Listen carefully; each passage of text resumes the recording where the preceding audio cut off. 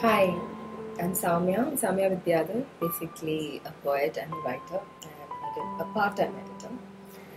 Uh, I was born and brought up in Bangalore and I had no restrictions from my family. My parents didn't have any restrictions on me and I was a modern uh, girl who went to college and uh, had fun and partied and stuff like that. What do people do, what do the girls do often. But when I was married, my first marriage actually, obviously that did not work out very well. I remember one particular incident when uh, the household had a party, a small get together. Uh, the men sat totally separately and the women sat separately. The women were in the kitchen cooking and taking care of the uh, children, whereas the men were in the separate section of the house, uh, talking, gossiping, drinking, eating, whatever the women cooked. And I was a little shocked because I this was not the way I was brought up.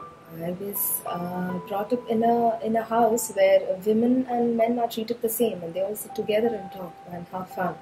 It's it's it's part of the culture.